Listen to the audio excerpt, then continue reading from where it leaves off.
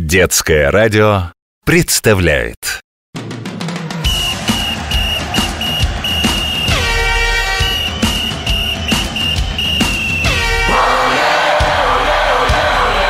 Спортивная программа.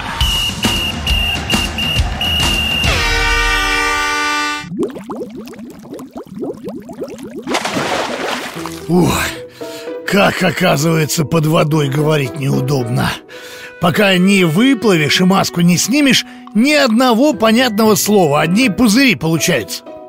А я-то был не просто под водой, а под водой и подо льдом. Вот вы спрашиваете, что я там делал в этом подледном царстве? Не, водяной русалки Игнат тут ни при чем. Нырял под лед я не ради встречи со сказочными существами, но в сказке побывал. Ведь по-другому эту красоту не назовешь. Ты будто в хрустальном дворце. Над головой голубой лед с узорами. Вода прозрачная-прозрачная. На дне замерзшие растения, а на них рыбы спят. Ну, настоящее зазеркалье. Попасть в него непросто, и волшебство тут не помогает.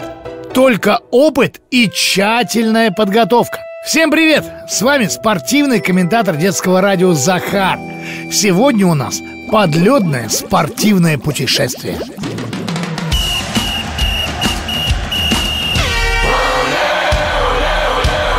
Спортивная программа.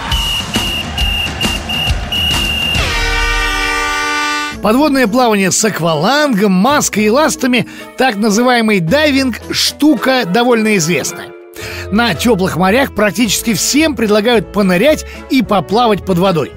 Подледный или айс-дайвинг отличается от такого ныряния, как поход в минус 30 от прогулки по летнему парку. Нырять под лед могут только опытные дайверы и только в специальной теплой одежде. Чтобы не замерзнуть, подледные дайверы носят сухие гидрокостюмы. Как одежда может оставаться сухой в воде? Хм. Сразу вспоминается сказка Герой, который вышел из воды с ухой Ну, то есть э, с рыбным супом в руках У ныряльщиков по-другому Их костюм состоит из двух частей Верхней, которая совершенно не промокает И внутренней Она из теплого материала в костюм уже вшиты резиновые сапоги. Осталось надеть перчатки с утеплителем, маску на все лицо, ласты, акваланг, и вот айсдайвер почти готов. Но перед погружением надо еще выучить особый язык. Быр-пыр-мыр, мыр-пыр-быр. Быр-пыр-мыр, мыр-пыр-быр. Да нет, нет, подводный. Для безопасности дайверы всегда погружаются подвое. Как вы уже знаете, разговаривать под водой не получается. Так что пловцам приходится обмениваться знаками. Получается такой особый язык жестов. Складываем колечко из указательного и большого пальца. Это означает «все в порядке». Большой палец вверх – всплываем, палец вниз – погружаемся. А теперь растопыриваем пальцы и крутим ладошкой. Это очень важный знак. Он показывает, что что-то не так, и вам нужна помощь. Ну что, запомнили? Вот молодцы. Перед тем, как нырять, дайверы прорубают во льду прорубь.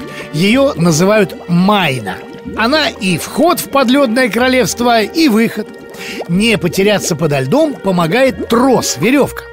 Один ее конец завязывают на талии айсдайвера крепким узлом. Другой держит человек, страхующий на земле. Трос для айсдайвера как волшебный клубок. Выведет куда надо. Также трос – это способ общения с ныряльщиком. Каждые три минуты страхующий дергает веревку, а дайвер должен дернуть в ответ – если этого не случилось и дайвер не откликнулся, значит надо срочно вытаскивать человека наружу. Соревнования между айсдайверами проходят и на глубину, и на время погружения, а также на подледное ориентирование.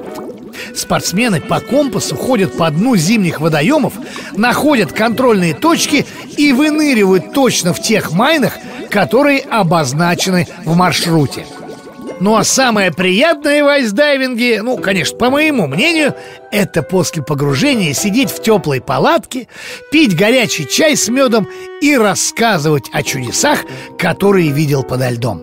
Подледные ныряльщики готовятся к своим необыкновенным погружениям в спортзалах и бассейнах.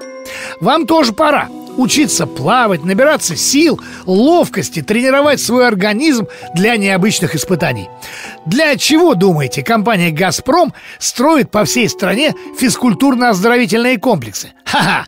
Как раз для того, чтобы мечты детей о занятиях любым видом спорта стали реальностью.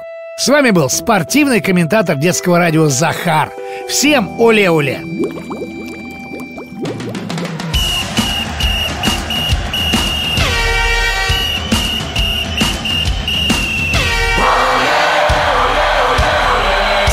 Спортивная программа.